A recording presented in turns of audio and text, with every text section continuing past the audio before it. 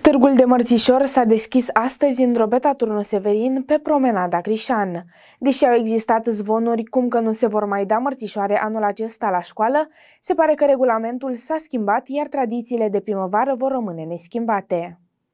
În acest an, târgul de mărțișor se va desfășura diferit față de ceilalți ani cu măsurile sanitare mai stricte, însă comercianții prezenți sunt mulțumiți că își pot vinde marfa și de această dată. Vrem pentru că s-a ținut târgul de mărțișoare, era cât pe aceea, dar vedem că totuși uh, primăria a fost de acord, guvernul ne-a dat voie, e foarte bine. Multă marfă a rămas din anii trecuți, anul ăsta nu s-a mai investit deloc pentru că nu am mai avut curaj. Datorită pandemiei nu se știa dacă deschide sau nu.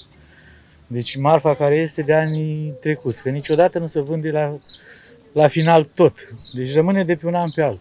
Ne era teamă că se va deschide, dar totuși văd că merge spre bine, totul se îndreaptă, merge spre bine, ne protejăm cu mască, cu distanța socială, a lăsat locuri între corturi, e bine, oamenii văd că încep să vină din timp să ia cât de cât să nu se mai aglomereze ca în ultimii ani, în ultima zi. În alți ani, numărul comercianților era mai mare, însă mulți dintre ei au preferat să nu riște pentru că nu mai aveau speranțe că se va deschide târgul de mărțișor. Severinenii sunt încântați că tradițiile de primăvară nu se vor pierde anul acesta din cauza pandemiei. Tradițiile trebuie păstrate.